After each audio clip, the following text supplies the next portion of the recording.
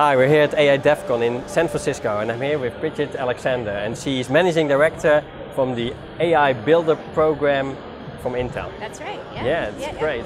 Yeah.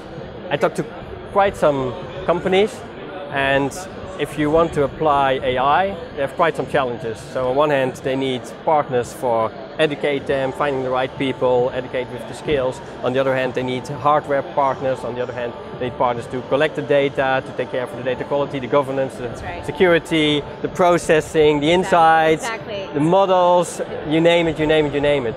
Extremely complex. It's a Correct. very complex ecosystem. Correct. And how can you help and what do these companies need basically? Yeah, I'm glad you asked. So uh, it's a very complex ecosystem, as you mentioned. Companies can't build all the solutions themselves.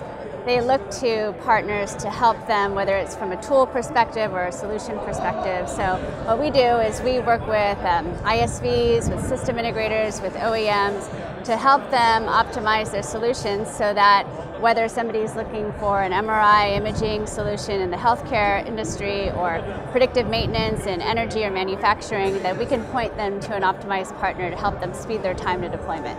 And depending on the needs that you have, because uh, let's say for predictive maintenance, you need other partners than when you're in the healthcare, you help them finding the right partners. That's correct. So we, we essentially work with different partners across the world, different geography, different industries, different verticals on all different types of use cases. Some also don't provide uh, vertically oriented solutions. They provide tools like help our partners uh, optimize their models and so on and so forth, or label their data. So we really provide the gamut of different types of partnerships to help speed time to deployment. Brigitte, thanks a lot for the great insight. Thanks for having me.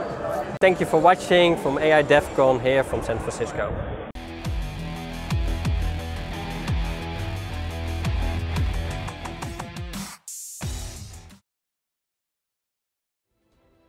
Enjoy this video? Don't forget to like, subscribe, share and get notifications of my new video.